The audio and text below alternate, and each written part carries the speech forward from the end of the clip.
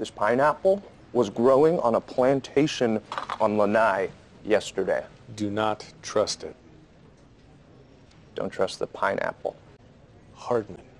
You come on. I don't want to. Are you serious? You're afraid of the pineapple? I know it's got a rough exterior, but it's all sweet on the inside, I promise. Come on. I love you, Harvey. It'll be good for you.